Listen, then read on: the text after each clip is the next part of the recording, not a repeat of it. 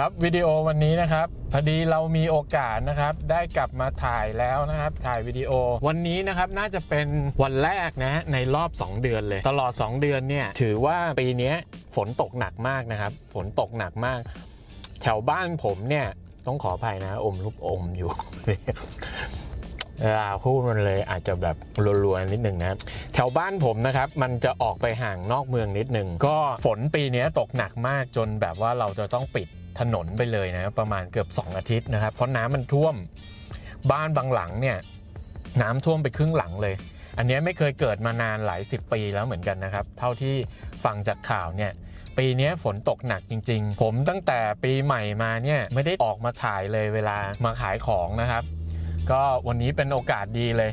ตอนนี้ฟ้าเปิดนะครับ แดดออกน่าจะเป็นวันแรกๆนะครับที่มีแดดเนี่ยเราได้เห็นแดดกันจริง ๆ แล้วนะครับ วันนี้ ก็เลยเดี๋ยวจะกลับมาถ่ายบรรยากาศที่ขายของนะครับ ในรถอะไรเงี้ยให้ทุกคนดู แต่อากาศก็ยังหนาวอยู่นะครับ วันนี้ไม่ใช่ว่าไม่หนาวนี่นะครับ อากาศตอนนี้ถึงแดดออกนะครับ แต่ว่าก็ยัง 6 องศานะครับก็ยังเย็นอยู่ข้างนอก ก็คิดว่าลูกค้า อย่างน้อยก็ยังดีนะครับที่ไม่มีฝนตก ก็ลูกค้าอาจจะออกมากินกับข้าวมากขึ้นนะครับ ช่วงเดือน 2 เดือนที่ผ่านมาเนี่ยก่อนปีใหม่นะครับ แล้วก็หลังปีใหม่เนี่ยก็เป็นช่วงที่เงียบเลยนะครับของรถอาหาร ก็คือพอขายได้อะครับ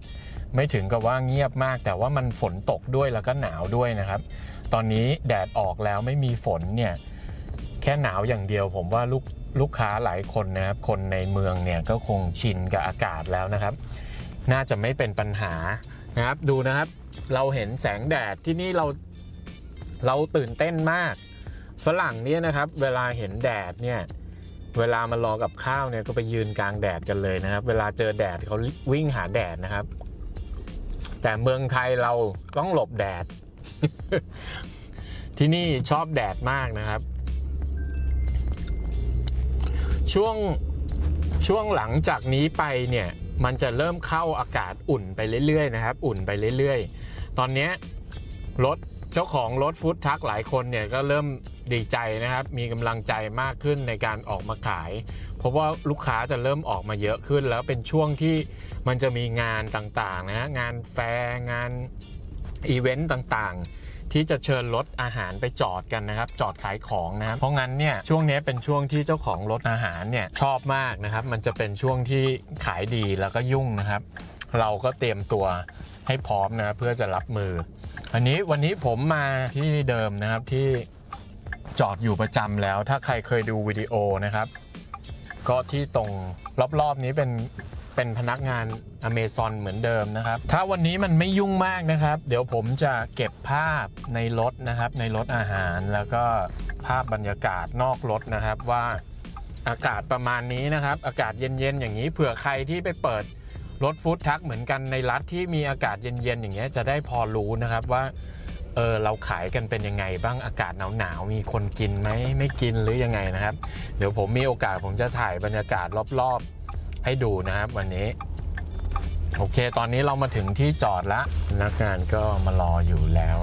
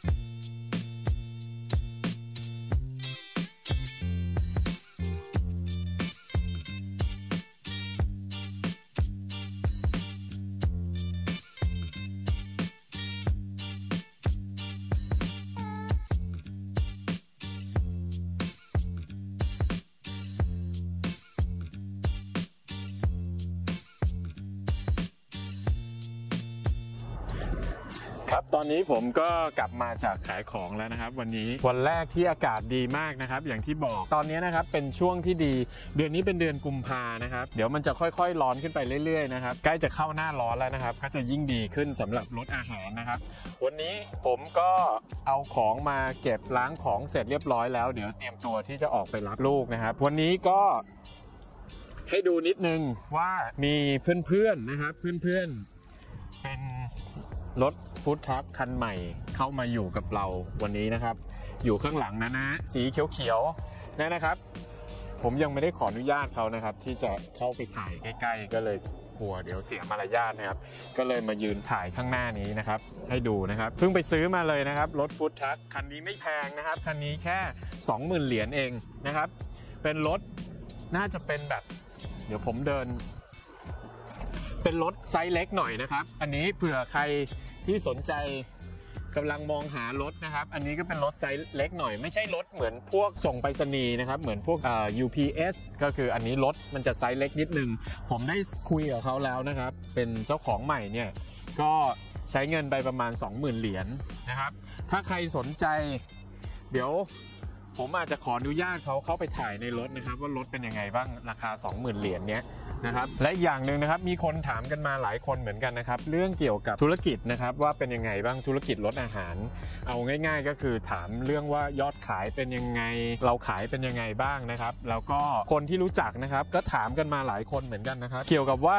เวลาเราทำรถอาหารเนี่ยส่วนใหญ่คำถามที่เขาจะถามกันเนี่ยก็คือเรามีรายได้เหลือเท่าไหร่ บางคนมาทำธุรกิจตรงเนี้ยนะครับก็ไม่แน่ใจว่าจะมีเงินเหลือพอไหมบางคนก็ยังไม่กล้าตัดสินใจ อันนี้ผมเข้าใจนะครับเขาก็จะถามกันนะครับว่าเหลือเงินเท่าไหร่เหลือ4,000เหรียญไหมเหลือ5,000เหรียญไหมอันเนี้ยบอกตรงๆนะครับ มันตอบยากนะครับว่า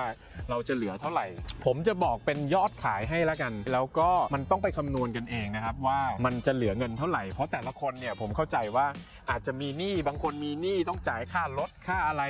หรือว่าไปกู้เงินมามาซื้อรถฟู้ดทัคอะไรอย่างเงี้ยมันแล้วแต่คนนะครับเพราะงั้นเนี่ยเงินที่เหลือเนี่ยมันจะไม่เท่ากันในแต่ละรายนะครับ อย่างผมเนี่ยช่วงประมาณสัก 2 ปีหรือ 3 ปีแรกเนี่ยผมก็รายได้ส่วนใหญ่เนี่ยผมเอาไปจ่ายไปใช้หนี้บัตรเครดิตบ้าง หรือว่าไปจ่ายหนี้รถที่เราไปกู้เข้ามาบัตรเครดิตต่างๆ อะไรเงี้ยบางอย่างเนี่ยเราได้กำไรมาเราก็เอาเงินไปจ่ายส่วนนั้นซะเยอะนะครับตอนนี้ผมก็ค่อนข้างจะสบายแล้วก็คือเราไม่มีหนี้มีสินส่วนตัวรถตัวข้าวของเครื่องใช้อุปกรณ์ต่างๆเนี่ยผมก็จ่ายหมดเรียบร้อย ตอนนี้ทำทุกอย่างเนี่ยก็เป็นกำไรและส่วนใหญ่เลยนะครับก็คือหักค่าใช้จ่ายหักค่าคนงานอาหารแล้ว เราก็เหลือกำไรเต็มๆ ตรงนี้ครับอย่างที่บอกจะให้ผมตอบเลยว่าเหลือ 5,000 เหรียญหรือเปล่า เหลือ 6,000 เหรียญหรือเปล่าเนี่ยมันยากนะครับผมก็จะบอกให้คร่าวๆแล้วกันว่ารายได้ของรถอาหารเนี่ยโดยเฉลี่ยเฉลี่ยส่วนใหญ่นะครับรายได้มันก็จะประมาณพันอัพขึ้นไปนะครับประมาณพันกว่าเหรียญขึ้นไปนะครับรายได้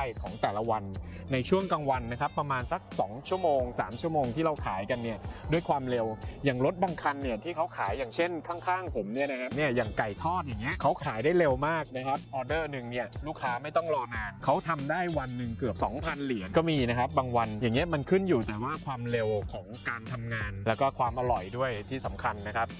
ส่วนผมเนี่ยเราเป็นรถไทยเนี่ยก็เฉลี่ยเฉลี่ยก็พันพันต้นต้นพันสองพันสามถ้าหน้าร้อนนะครับ ดีๆ อากาศดีๆเนี่ยมันก็ไปได้ถึงพันหกพันเจ็ดแล้วแต่นะครับผมเคยทำได้มากที่สุดคือพันแปดร้อยเหรียญนะครับต่อตอนกลางวันนะครับ อันเนี้ยผมเนี่ยมีภาระที่จะต้องไปรับลูกนะครับ ลูกก็ยังเล็กอยู่ที่โรงเรียน เพราะเพราะงั้นเนี่ยตอนเย็นเนี่ยผมจะเอารถมาจอดเก็บนะครับส่วนบางคนนะครับหนุ่มๆสาวๆนะครับที่เริ่มทำใหม่ๆเนี่ยตอนเย็นเขาก็มาเตรียมของเสร็จนะครับมาเตรียมของอีกรอบหนึ่งแล้วก็ออกไปขายก็คือขายทั้งเช้าทั้งเย็นเลย บางคนเนี่ยก็ได้วันหนึ่งเกือบ 3,000นะครับ3,000กว่าเหรียญได้เลยนะครับ ตรงนี้ผมก็เลยจะฝากเอาไว้นะครับสำหรับคนที่ถามกันเข้ามานะครับว่า